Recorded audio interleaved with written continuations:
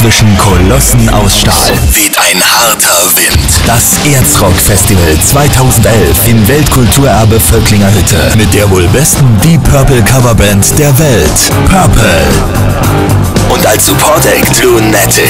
Das Erzrock Festival 2011 diesen Samstag. Gebläsehalle Weltkulturerbe Völklinger Hütte. Tickets für 15 Euro an der Abendkasse. Mehr Infos auf erzrock-festival.de.